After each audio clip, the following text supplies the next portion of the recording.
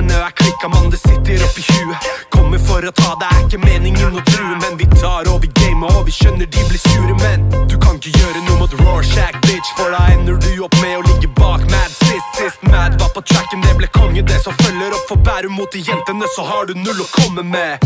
For vi tegner med noe blekk og lager flekker. Du skjønner ikke shit av alle kodene vi knekker.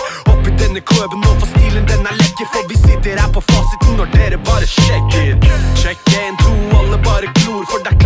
Disse jentene bare setter noe spor. Fuck hvem du er, og bare fuck hva du tror. Rorschach ute nå, han vet hvor du bor.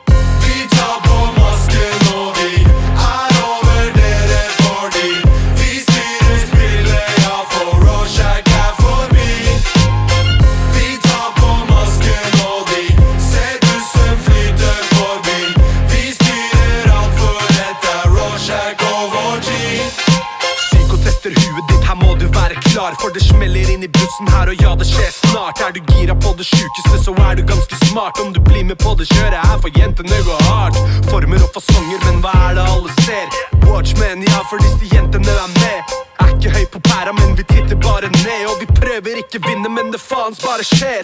25 superhelter, alle er på vakt. Vær forsiktig når du prater med oss, skal du ha kontakt Må du vise oss at du faktisk har noe du skulle ha sagt. Og vi er casual som helst, så bare fuck og bruke drakt.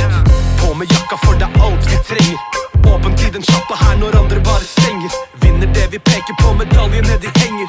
Rorschach, tro meg, denne bussen her skal lenger. Vi tar på masken